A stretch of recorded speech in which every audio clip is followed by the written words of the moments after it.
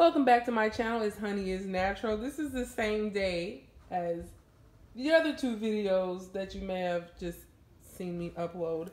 Um, I like this backdrop. Happy Halloween. Those are not real spiders. Um, yeah, and I really like the front drop, which is the bag that I obsessed over for probably three years. I watched this video over and over again. I have it in black. I got it in black because of work, but I really, really wanted the natural. This is Bourke Florentine leather Buckley bag in natural. I don't have to think about the name of it because I obsessed over it for years. Um, let me tell you why I obsessed over this bag. Because if you like the smell of Florentine, well, you get that with everything. But if you like the feel of it and the look of the pleats and the leather, this is a really good bag for you. Not yet. Wait till this one's over. Because you get a chance to touch the leather a lot more and hear it and see it bunched up and do the different things with the highs and lows that it does. On this bag, because of the drawstring feature, you're forced to touch it.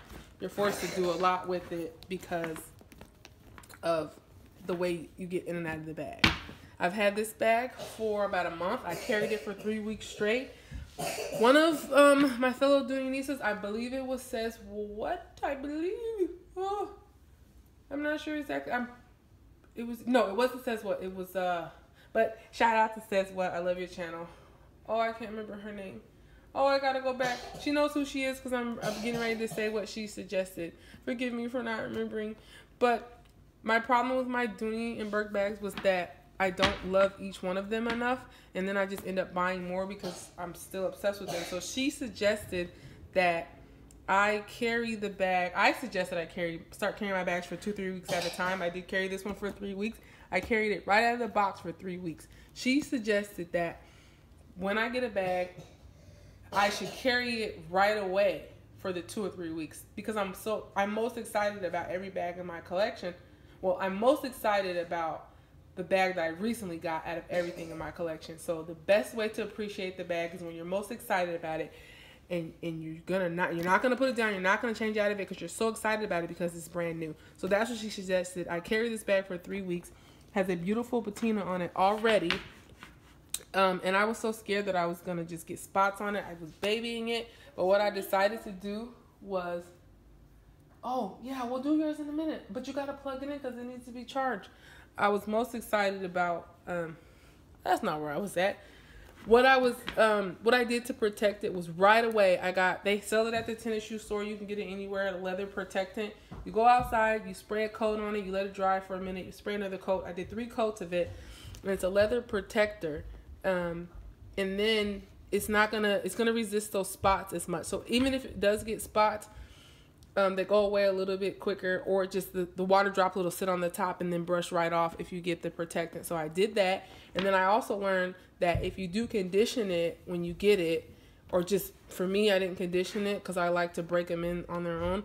I, I rubbed it a lot. I touched it a lot. I just kind of carried it right away and it got a patina quickly and what the patina does is the natural patina itself is also a protectant because if you touch it all over and the patina's all over, it's less likely to show wear or show dark spots because you touched the whole thing all over. So I did get a little bit of dirt on the back back here, but you can't see it as much because of the natural patina that is the best way to get that patina is to wear it right when you get it. If it sits in your closet um, for a couple months when you get it, it might I don't know what it's gonna do. It's gonna change color, but it's not gonna be the shiny patina.